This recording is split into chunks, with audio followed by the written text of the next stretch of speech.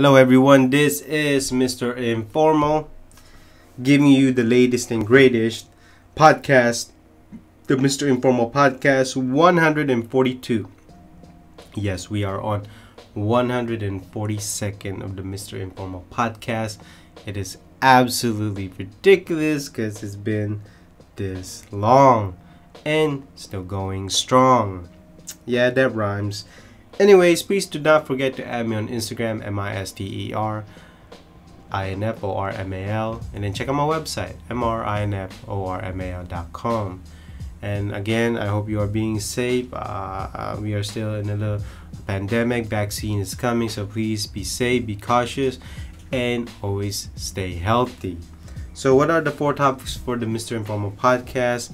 And I can let you know right now, these past uh, days or even week, it's been crazy in the tech industry, but um, financial industry. But I'm not going to talk about. I may talk about it in just a standalone um, take of mine. Anyways, uh, first topic is tech lobbyists. Yes, these uh, social media tech uh, have lobby and spend millions and millions of dollars Number two, Twitter is crowdsourcing their fact checks. I don't even know what that means.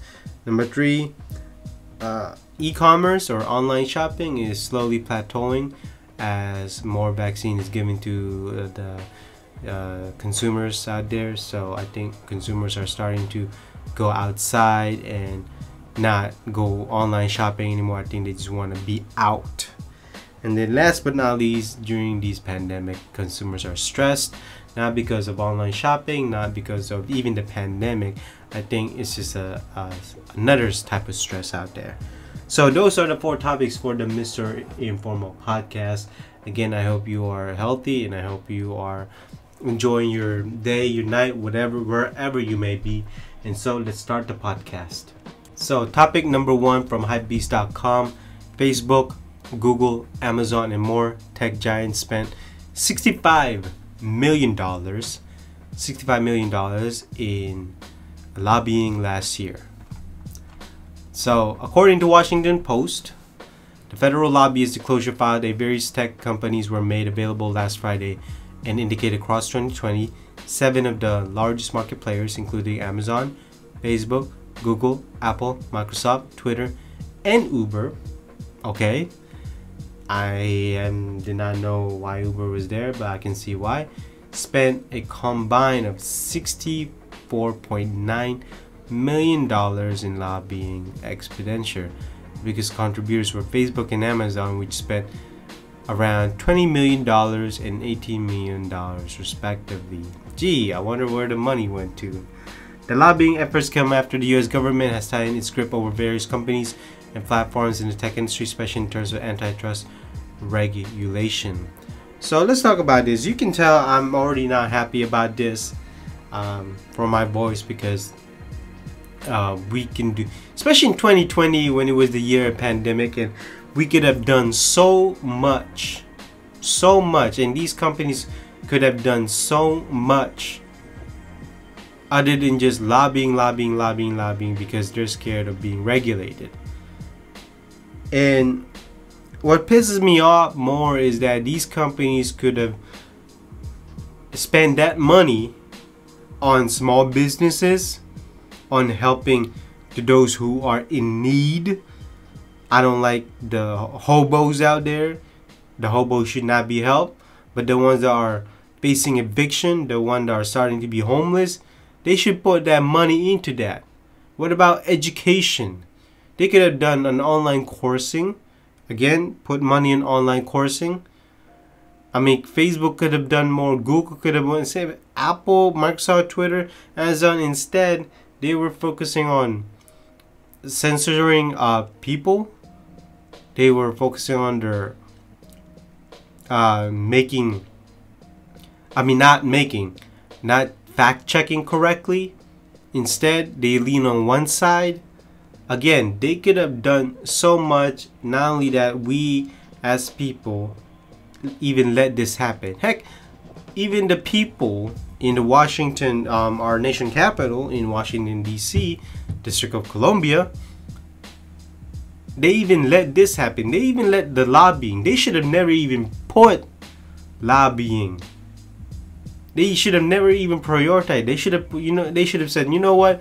Let's see what we got on our plate in terms of pandemic related issue, China virus related issue. Instead, you know what? We're gonna buy these politicians with our money, and so, as you know, nation's capital are just being bought by these uh, companies. And again, these money could have been put in so much. Like the American people have never benefited. I never benefited from this. And not only that, they're still doing it. And they're probably gonna get their way with the new administration. I mean, that's what's happening, right? I mean, they're probably gonna spend more money on lobbying. They're probably gonna even buy out these politicians, and us people are not even doing about it. And so, I am absolutely not happy about it. The fact that the lobbying efforts were happening during a pandemic, and the money could have done it could have been put into more substantial and actual use instead of lobbying, lobbying, lobbying.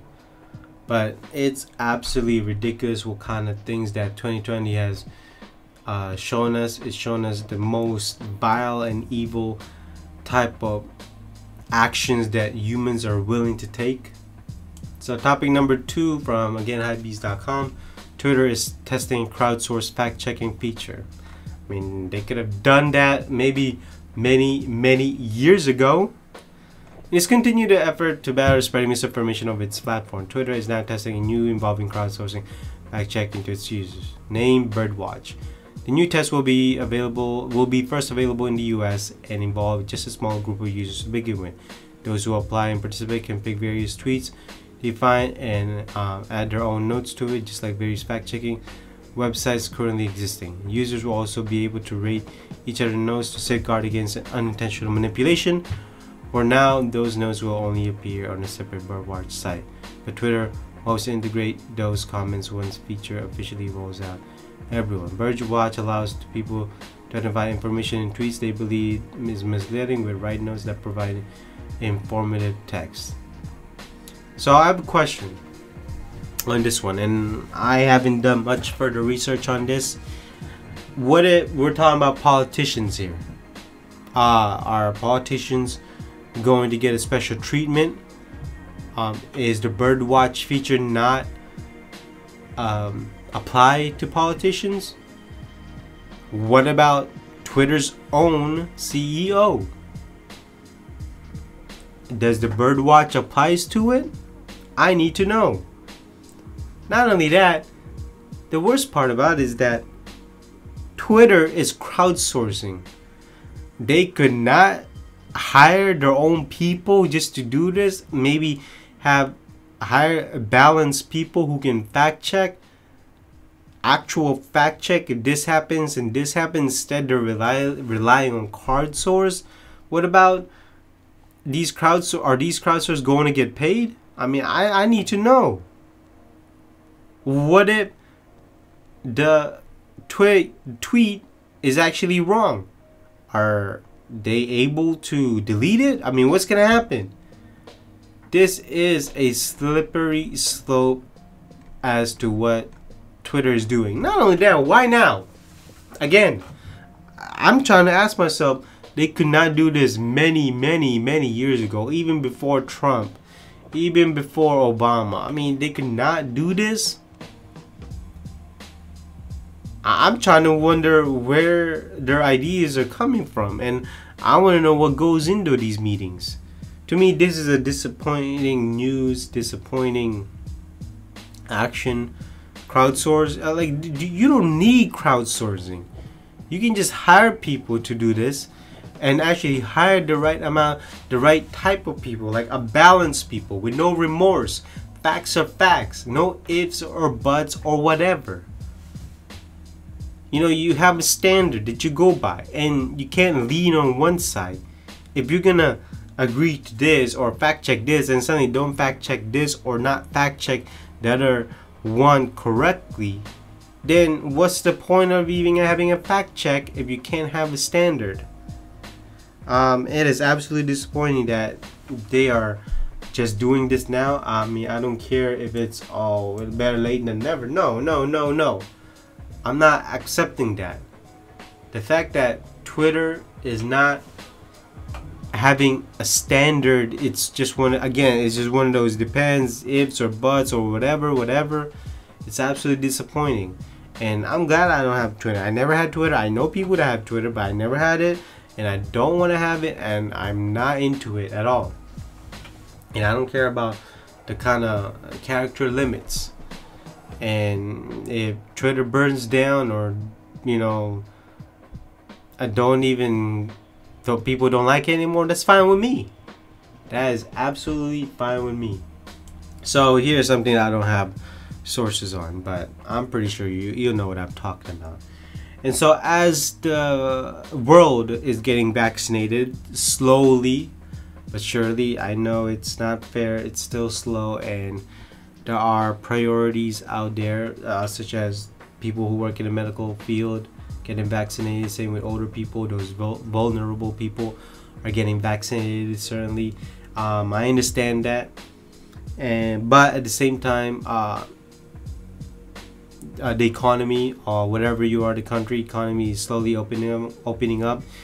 Even though um, many of the countries are still in some type of quarantine rules, but still, uh, hope is out there. You know, it's slowly, very slowly, the uh, restaurants, the barbershops, salons.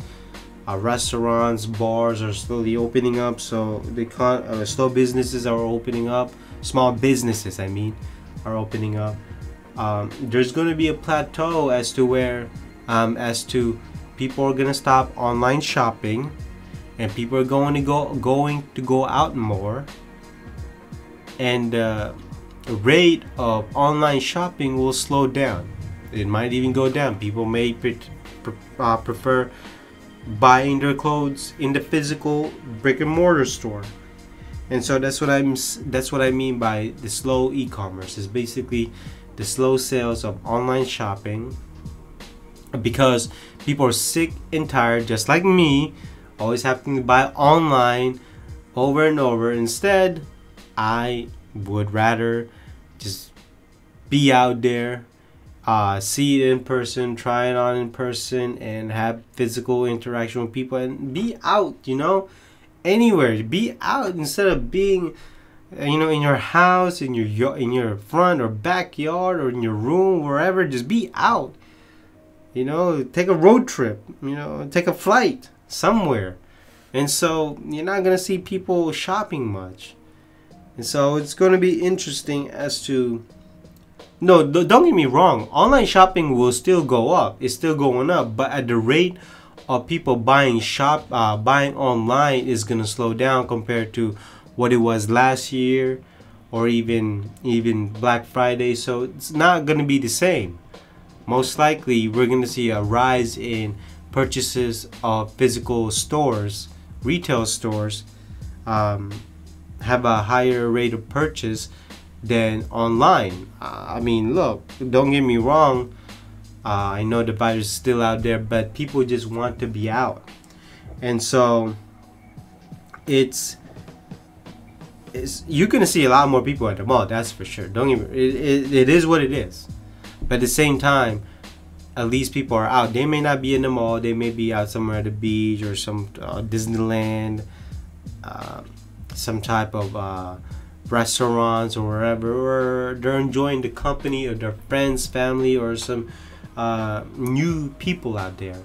And so people are not going to be on the computer, tied up in the computer and buying, buying, buying all the time. So uh, certainly, uh, online e-commerce, the purchase of online e-commerce is going to plateau. I'm not saying it's going to stop, but it's certainly going to slow down. So that's topic for this podcast from retaildive.com.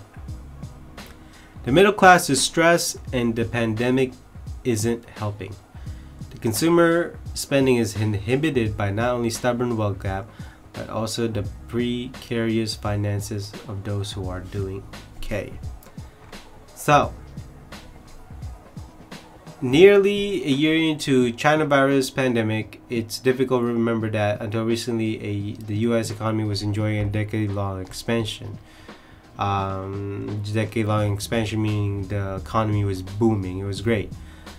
The even then, however, consumers often seem constrained. That could be because only top 20% of U.S. households have fully recovered from the Great Recession, according to Brookings Institute. What does Great Recession means?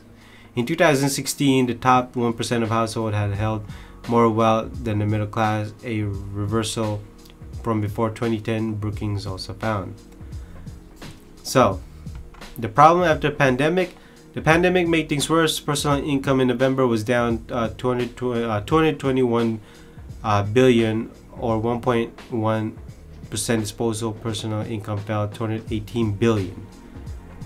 Not only that, some 10 million jobs disappeared uh, from February 10 to December last year, and the holiday season was marked by bargain hunting due to pandemic related job and income loss.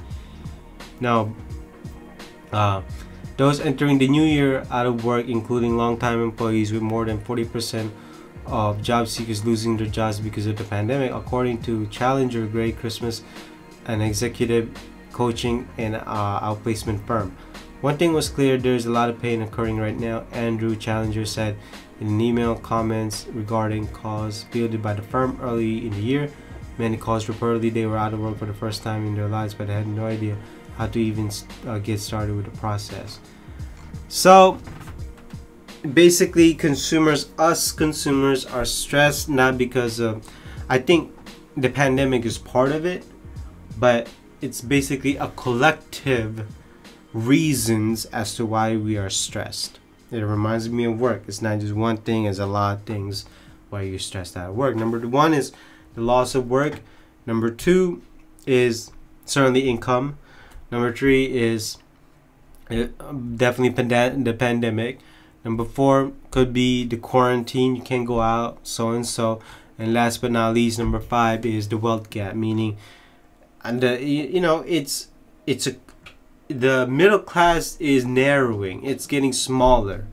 So you have the rich and the poor. That's all it is, instead of uh, the middle class.